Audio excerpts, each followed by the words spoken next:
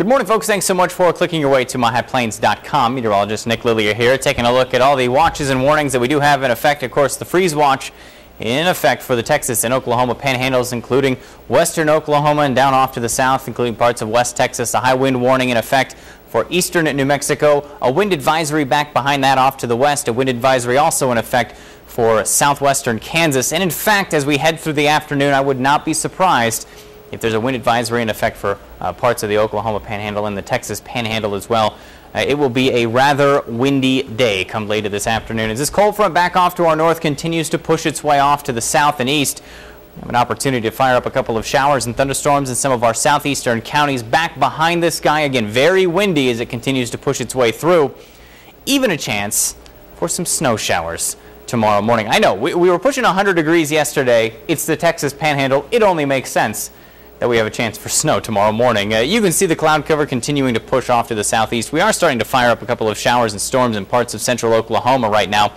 But again, we are still looking at that slim threat for some severe weather. Uh, back down toward Childress as you make your way into Kirkland, down toward Quanah. I think the real threat will be as you get down toward Vernon out of our uh, neck of the woods, but there still is that slim chance in a Childress uh, here in town, no chance for any severe weather. The only thing we have to worry about is uh, well, a rather windy day. Temperatures for later this afternoon, just 49 here in town, 44 in Dumas, 44 in Borger. Chilly. I mean, we started the morning off in the 50s and 60s, and by later today, how about back down at 39 in Guymon? This morning, when I got here, it was still 72 degrees, uh, so a very, very chilly afternoon for you folks. And then an opportunity for some light rain, and we'll call it a rain-snow mix also in here. Snow as you head back off to the north. 31 degrees here in town for tomorrow morning, 29 in Pampa, 33 in Clarendon. I think you folks stay above the freezing mark. Same goes in Childress at 36. And then we head into the afternoon where you can clear away the cloud cover.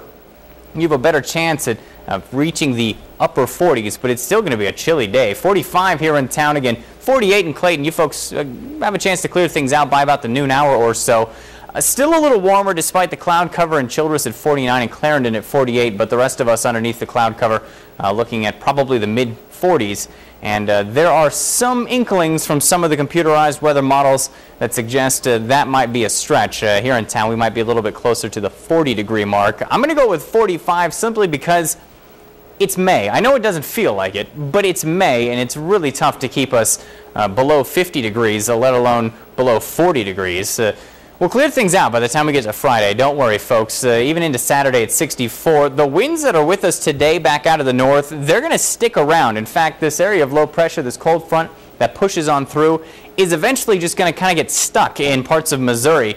Uh, it's not going to move much further east than that. Because of that, we will continue with the breezes not only today, tomorrow, but into Friday and lingering into Saturday, still out of the north, which means now we'll have a tough time uh, getting out of the 50s and 60s, even with the sunshine. We finally do by Sunday hit 70 degrees, and then it's back into the mid 70s for Monday and Tuesday. A little more spring-like. Uh, how about an opportunity for some isolated showers and thunderstorms Monday, and uh, anywhere between a 20 and 30 percent chance as we head into Tuesday. Again, thanks so much for clicking your way to myhighplains.com.